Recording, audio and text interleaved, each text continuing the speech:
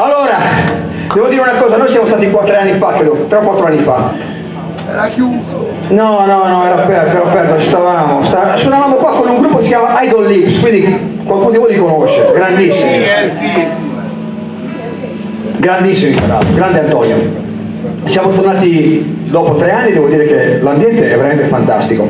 Ma stasera per me è stata una grandissima sorpresa perché ho conosciuto delle persone e ho ritrovato delle persone fantastiche che non vedevo da anni e che non ho mai conosciuto e ho conosciuto con questa, questa sera.